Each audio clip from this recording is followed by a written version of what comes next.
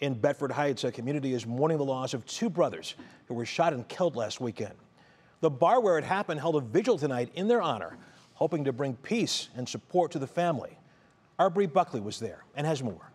They the last people that we expected for this to happen to. And they made everybody smile, they made everybody laugh. Remembering two lives taken too soon. It's rough for everybody.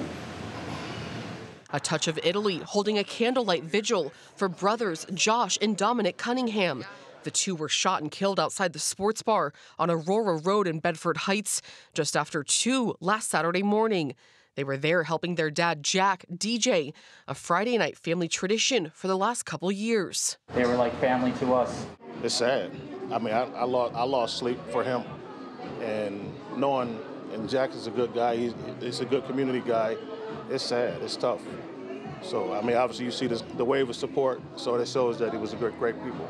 The bar collecting donations for the family and giving a portion of sales from the night. We're really trying to take the negative buzz off of us.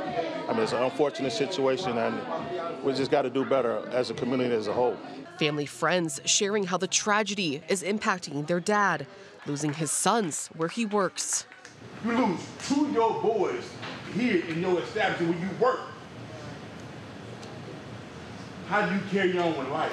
God knows what God is doing, and uh, his sons did everything in life together, you know, and they left this world together. So I know you got you got to take some solace in that them two are together forever, and they always have been.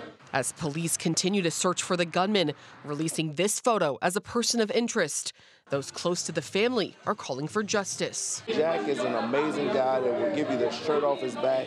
He didn't deserve this. His kids didn't deserve this. And we, we as a community need to stand behind him and, and get some justice for the Cunningham family. Police tell us there have been several criminal incidents in the, in the past at a touch of Italy, but management tells us they had security team that night as they do most nights. And Russ, after this incident, they're closing an hour early, so that's at 1 a.m. on the weekends. And then they said they're going to close the doors at midnight to not allow more people to come in as a way to protect patrons as well. Okay, Bri Buckley, thank you. Of course.